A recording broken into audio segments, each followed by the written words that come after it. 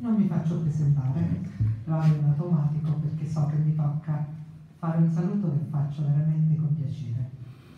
È il mio quarto anno di seguito che partecipo a questa celebrazione e mi piace sottolineare una cosa.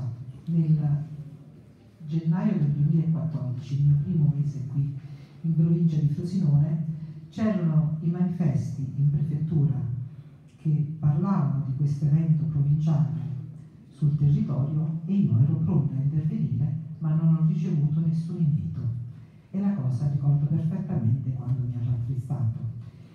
Vedere oggi una manifestazione così ben organizzata e a lei comandante i miei complimenti e tanta partecipazione mi fa particolarmente piacere perché significa che abbiamo fatto molta strada insieme. Partire dalla mancanza del prefetto a un evento di questo tipo e arrivare oggi a una partecipazione così globale anche di comuni che vengono dal Basso Lazio, quindi più lontani, con più fatica, è sicuramente un punto di arrivo di cui mi pregio anch'io.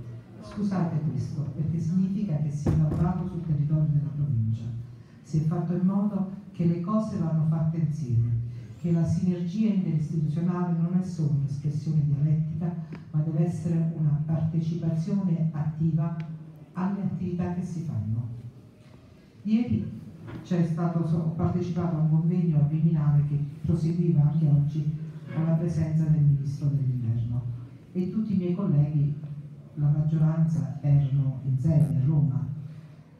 Io ho chiesto scusa, ma dico sono impegnata con il mio San Sebastiano, il mio territorio va curato e seguito. Molti colleghi restavano a Roma.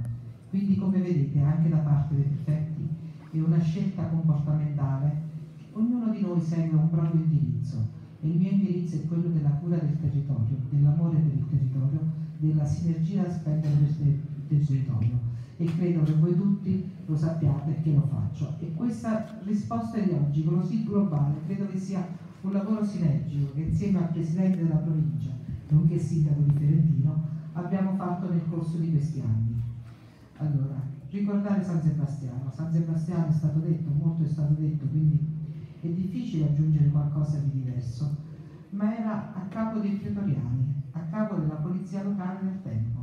E quindi bene ha fatto Papa Pio XII a individuare come figura di riferimento, come padrone delle polizie locali, uno che è stato a capo di una polizia locale, ma che è stato anche un uomo simbolo, che ha abbinato due cose insieme, il rispetto ai valori istituzionali, quindi alle regole dell'ordinamento dell'epoca c'era e l'amore per la sua società, l'amore per il sociale di cui si è fatto cenno.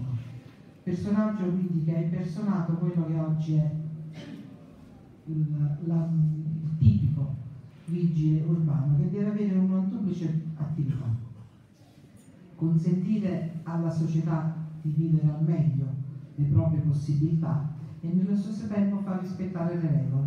Non sempre è compito semplice, non sempre è compito, come dire, accettato da tutti. Il vigile urbano al primo approccio è sempre un approccio non sempre positivo e quindi è un doppio complimento che va fatto ai vigili, che devono essere il primo biglietto da visita di un'amministrazione comunale.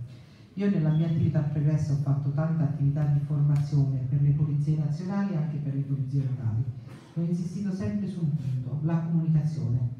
Il primo approccio che il vigile ha con la cittadinanza, col turista, con chi chiede un'informazione deve essere un approccio positivo, che deve far predisporre bene verso quella divisa che si indossa.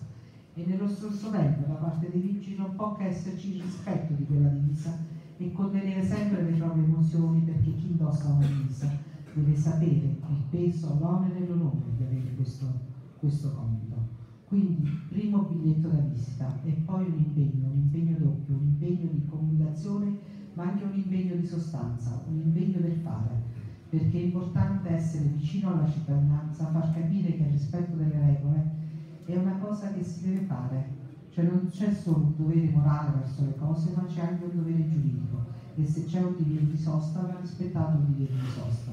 Questo molto spesso a voi è richiesto un duplice ruolo, dicevo, quello dell'opportunità, della sensibilità verso chi avete di fronte ma anche l'impegno e la durezza a volte di fare attività di repressione, perché molto spesso non basta la prevenzione, se è necessaria la presenza di tante divise che si impegnano nella prevenzione, è anche necessario a volte dare come esempio anche drastico avere un repressione.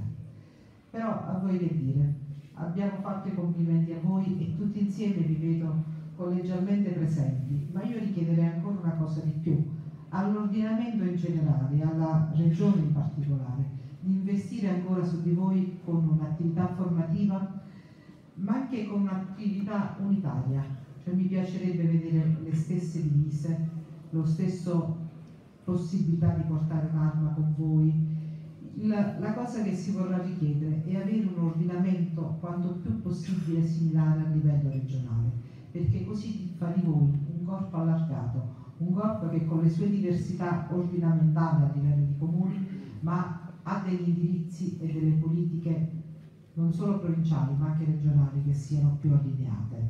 Se c'è una polizia che ha un'arma è, necessario, indispensabile che ce l'abbiano tutti, non perché io pro, propagando e provendo per le armi, ma un minimo di difesa lo dovete avere anche voi. E quindi questo cerco di portarlo, questo discorso e questi principi a tutti i tavoli interistituzionali perché è necessaria l'uniformità, l'uniformità di vedute, l'uniformità di ordinamento, l'uniformità di macchine, divise e quant'altro, perché quando si va, che ne so, ai vostri convegni nazionali ad Abano, Riccione e si vede questa diversità di macchine, di, non sembra una cosa molto piacevole.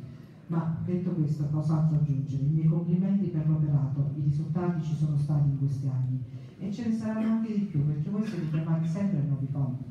Tant'è vero che la legislazione ultima, parlo della legge 48 dell'aprile dello scorso anno, a voi ha dato innovativi compiti perché richiedendo ai comuni sempre più sinergia con gli apparati nazionali, a voi ha delegato ancora di più la possibilità di accedere alle bancherate delle polizie locali. Approfittate di queste opportunità perché anche per voi sono momenti di crescita L'ordinamento segue quando la società è pronta a ricevere una varietà di indirizzi. Allora anche questo è importante.